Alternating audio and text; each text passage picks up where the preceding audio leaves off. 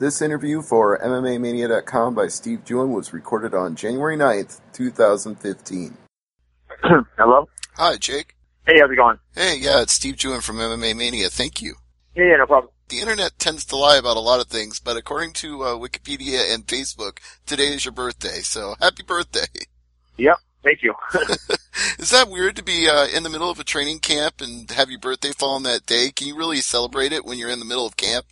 No, I, I don't celebrate it. For me, it's not weird because, uh, you know, I wrestled and it always, uh, throughout wrestling in high school and stuff, it fell into the season. So I, uh, so in college as well, so I kind of got used to just, uh, skip my birthday. So I'm used to not having birthdays. Yeah, I can understand that because it's pretty much year round when you're wrestling or fighting, so you're always going to be. Yeah, exactly. So when it's training camp, you kind of ignore holidays and birthdays. And plus, when you're older, birthdays aren't that exciting anyway. Yeah. I, I don't want to get another year older. Trust me, I know that feeling all too well, but you're staying in great shape. You're fighting for a title shot on Saturday, January 17th. So how's that feeling right now, yeah. getting in that line for another title shot? Uh, you know, I feel great. I mean, I actually feel the best I've ever felt. I feel like I, I you know, the age, I don't, I don't feel I'm getting older. My training's really coming together and it's, uh, I feel like I'm peaking out right. I can't wait to get out there and fight.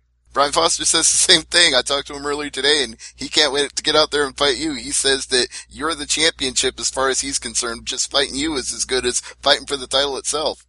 Yeah, you know, he's got, it's one of those fights which I guess puts me in a tough situation. He, uh, you know, I have a lot more to lose. You know, I'm the big name in this fight. and He's coming in and he, uh, he is a tough fighter though. He's an underrated guy. You know, I honestly didn't really know anything about him until I signed the fight and then I went and looked him up and he's, uh, he definitely has some, uh, things where he's really dangerous.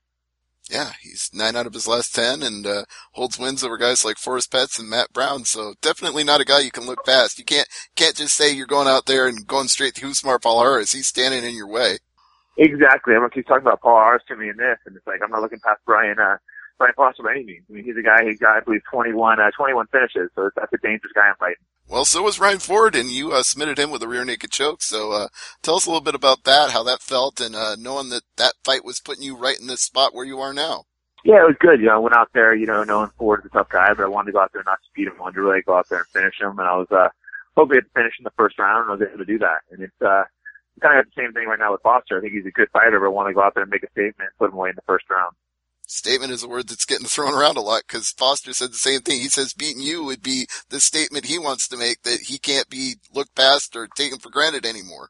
Yeah, I mean, definitely. It's, if, if he would beat me, that'd be a huge, uh, put him in a huge situation. And that's, uh, I don't want him to come out there and make a name off me. So I'm going to go out there and, uh, and stop that.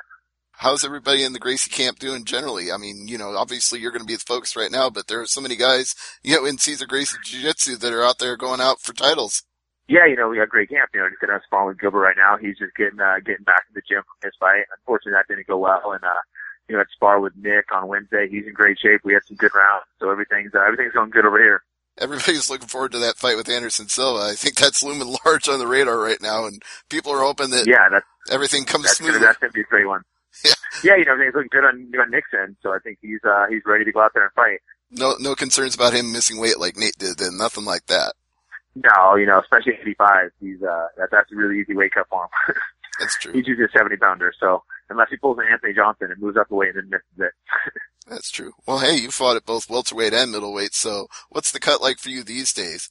Oh, it's it's not it's not bad right now. I've had some tough cuts, but right now it's good. You know, I woke up 183 this morning, so I'm actually uh I'm actually ahead of schedule. It's really easy to make weight from here. Yeah, everything in the camp's going together. You're sparring, striking, jiu-jitsu, everything's all falling into place at the right time. Yeah, I just had this hard sparring session, like just like literally just got done like 15, 20 minutes ago. Still at the gym right now, and it's uh it went great. Like I'm peaking out perfect, and can't wait to go out there and fight you said you're not looking past Brian Foster in any way. You know about his record of wins and submissions, but I, I kind of asked him to pick apart your style and see what he thought he could beat you at. So I'll do the same for you. What do you think when you look at Brian Foster is the one thing that you think, you know, you've got him, you got his number with that?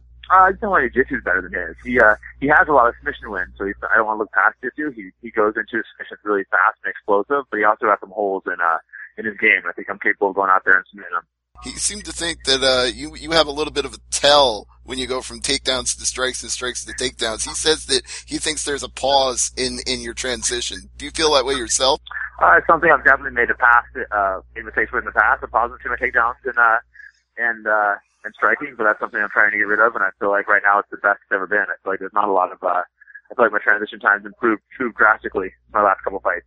Hey, now how do you feel about World Series fighting in general? I mean, you made the big splash with them just a few months ago, and they've obviously put you down as, you know, a top star of the promotion. So how do you feel about the treatment you've gotten so far in general? No, you know, overall, I've liked them. I mean, nothing's ever perfect. There's been a few small problems, but overall, it's been really good, and they just keep getting, uh, continue to keep getting better and better. So hopefully, uh, their shows will last for a while, and we can keep a relationship going. Is it interesting at all when you see Ray Sefo cornering a fighter like Brad Tavares on a UFC pay-per-view, knowing that he's also the president of the promotion? Well, yeah, I mean, he's he's always been a fighter, so he's still training guys, so it makes sense. But it's just uh, there's nothing wrong with being able to, you know, be a CEO and still still. I'm sure fighting is his first love, so I'm sure he wants to stick around that. Yeah, of course. It's just, it's also funny when you listen to the commentary and they only talk about him as a kickboxer. And I, I guess it's because they can't acknowledge other promotions, but I always feel that's funny when like World Series of Fighting can mention UFC, but UFC can't mention them. Yeah, it's just, uh, it's just a little strange, but who knows? yeah, there's nothing really you can do about that. I, I guess. Yeah at the same time, I gotta say, it's, it's fun to see you fighting for a different organization because I've seen you fight for so many now. It's, you know, Strikeforce, Elite XC, UFC, now World Series fighting. It feels to me like you've been everywhere.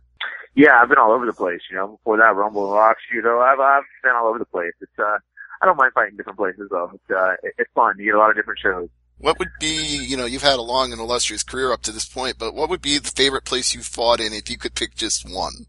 Uh, like city or organization or? Well, you, take it either way, but I meant more like location.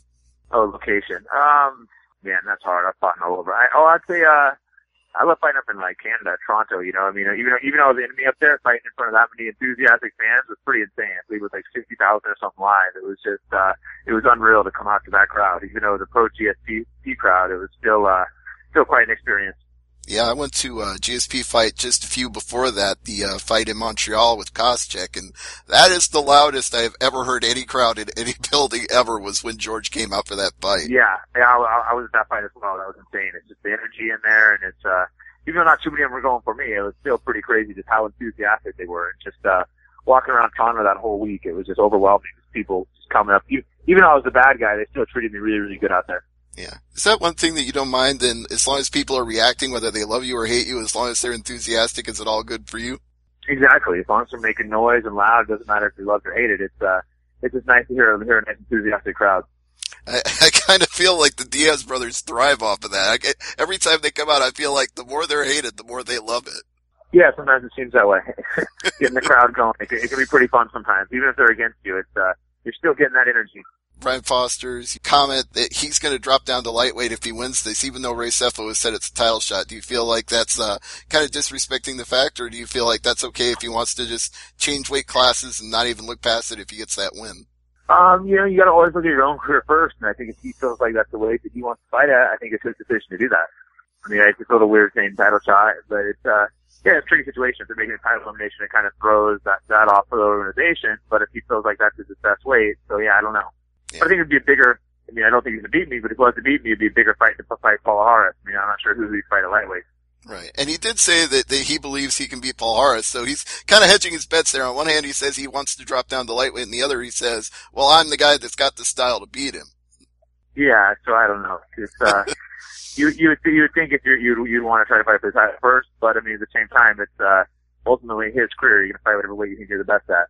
That's true. And uh, since he says he's the guy that beat the Palhares style that, you know, going for a leg lock in every fight, I got to assume you'd feel the same way, especially since you got the American Jiu-Jitsu. So if he wants to go to the ground, you'd go to the ground with Palhares. I don't think you'd be afraid of that.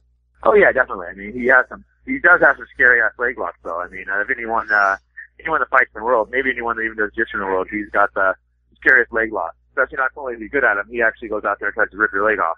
Yeah, when I saw what he did to Jon Fitch, I was worried that Fitch might not be able to walk again after that fight. It turned out to be okay because when it, when he tapped, he stopped. You know, but that's been an issue for him in the past. Yeah, and that's what makes him a little scarier. You don't know he's going to get that thing, and uh, he's going to he's going to try to hurt you.